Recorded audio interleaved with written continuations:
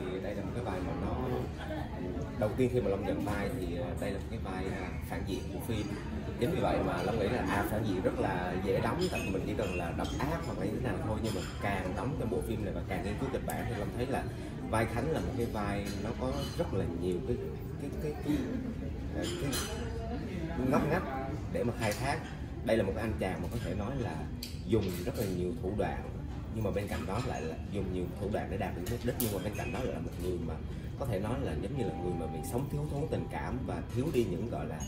cái cái gọi là đã làm mềm cái tâm hồn. Chính vì vậy mà cái cuộc đấu tranh giữa cái người mà giống như là một người rất là yêu, rất là si tình và một cái con người đầy toan tính thủ đoạn, cuối cùng thì nó cũng là thể hiện một cái con người mà giống như là nếu mà ví dụ như chúng ta sống trong một cái xã hội mà mình thiếu đi được một, gọi là, cái sự mềm mại hoặc là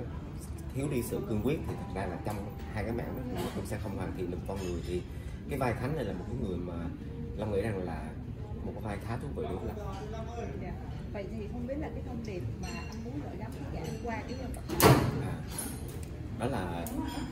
cái bộ giống như cái bộ phim đó là có tựa đề là trói buộc yêu thương thì nó cũng giống như là có thể nói là khi mà giống như là tình yêu mà không đặt đúng chỗ và giống như là mục đích mà không đặt đúng chỗ thì con người ta nó sẽ có những cái à, sai lầm ở trong cuộc sống. Chính vì vậy mà đôi khi là chúng ta phải cần là cân bằng nó, bỏ nhỏ nó. Ví dụ như hạn như là yêu thương vừa đủ, nói chung là tất cả mọi thứ nó vừa đủ và mình không có bị à, cố chấp quá thì mọi thứ nó sẽ, cuộc sống sẽ dễ dàng hơn anh anh muốn hỏi thêm luôn cái yếu tố là à, với dàn cast của cái phim này đó thì không biết là anh đã làm việc qua nhiều phim chưa? Hay là đây là lần đầu làm việc với họ? À, trong dàn à, cast của phim này thì đây là lần đầu tiên Long làm với rất là nhiều diễn viên. Dạ. Trước đó thì Long chỉ có cộng tác với lại Tú Vi thôi Còn hầu như là tất cả dàn diễn viên trong phim này đều là những người mà mới với Long Và bản thân thì à, lần đầu tiên đóng với lại những cái người mà có thể gọi là tiền bối trong diễn xuất Giống như là anh Hữu Châu hoặc là chị à, Kim Xuân thì thật ra đối với Long đó là một cái cơ hội, lúc đầu Long rất áp lực, khá áp lực là làm sao để mình có thể, tại vì mình cũng là, kiểu, không phải là chuyên nghiệp đi phim thường xuyên, tại vì Long thật ra của Long cũng đi đóng phim nhưng mà do cái thời gian mà trên phim trường của Long thì nó ít hơn so với mọi người. Nhưng mà khi mà vô đóng phim thì mình có cảm giác là mình khá áp lực à, mình khá áp lực là tại vì đóng với toàn những người mà có, có thể nói gọi là trải dài tất cả các phim truyền hình Việt Nam và mọi người đều có kinh nghiệm đi phim rất nhiều. Nhưng mà khi mà Long tham gia phim này thì Long có một cái may mắn là mọi người hỗ trợ rất là nhiều để giúp cho cái vai diễn của Long nó trọn vẹn hơn. Và bên cạnh đó thì mọi người sẽ không có cái kiểu giống như là